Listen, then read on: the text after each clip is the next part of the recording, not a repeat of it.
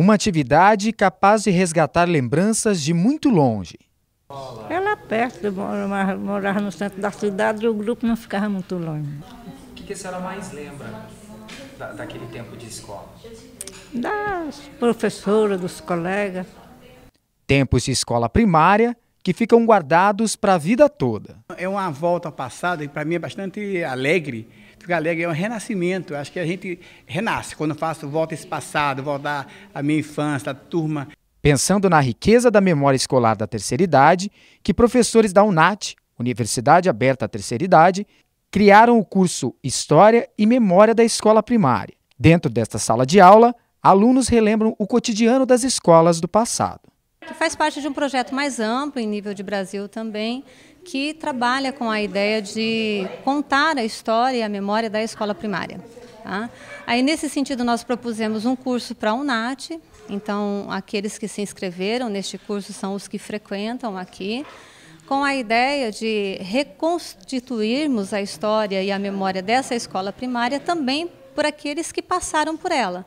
No caso, os alunos que hoje frequentam a UNAT fizeram a sua escolarização primária nas décadas de 30, 40 e 50. Portanto, eles são a memória viva da escola primária do nosso país. Na sala de aula, foi montado o cenário que remete à época. A foto clássica dos tempos do primário também fez parte dos exercícios por aqui fez Dona Jaci relembrar de quando tirou a foto do primário, que guarda intacta até hoje.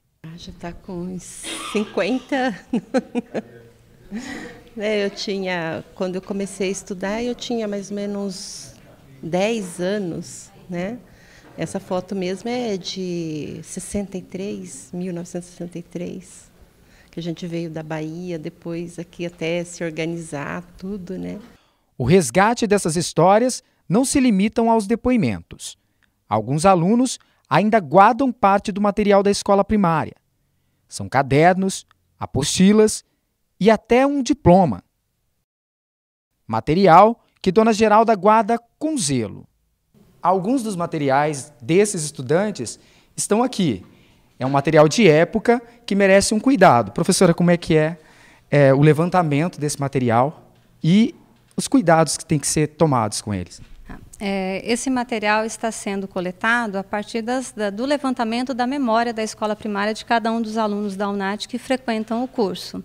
Então, eles nos trouxeram boletins, fotos antigas da escola, cadernos escolares, livros escolares, é, materiais de avaliação, como o material ali apresentado pela dona Geralda. E toda essa documentação ela está sendo digitalizada por mim, com o auxílio da Cecília, Thaís e Andressa, que são as alunas da pós-graduação.